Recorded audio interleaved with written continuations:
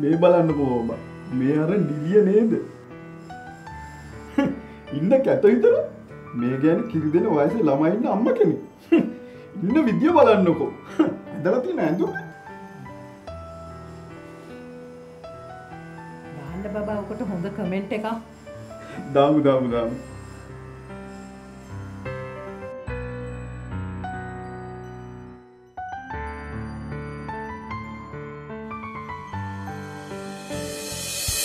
ඇන්ට දැන් ජාත්‍යන්තරේ ඉන්නේ.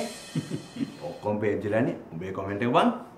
සිරාවට එහෙම නෙවේද කියවන්කෝ ආ උන් ප්‍රසිද්ධ වෙන්න හදන්න බං උන්ගේ ඇඟ පෙන්නලා අඩුම ගානේ මචන් උන් අට පාස්වද්ද දන්නේ මචන් උන් රස්සාවක්වත් කරන්න ඒකට අපේ ගෑනු මචන් ළමයි හම්බුනාට පස්සේ මං ගෙදරටම වෙලා ඉන්න කිව්වා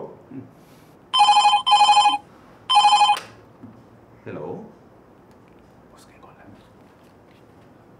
ඔව් සර් හරි මං එන්න හරි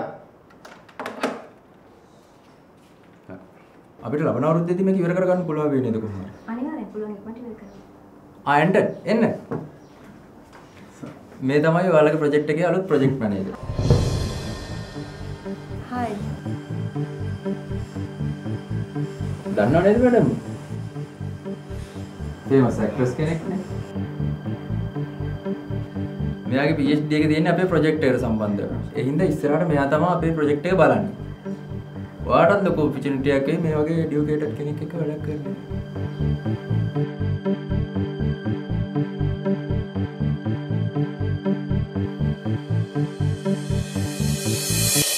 රැකියාව මත පුද්ගලයන් අපහසුතාවයට පත් කරන එක දැන්වත් නවත්තන්න. හැමෝටම ඔවුන්ටම ආවේනික වූ කතාවක් තිබෙන බව මතක තියාගන්න.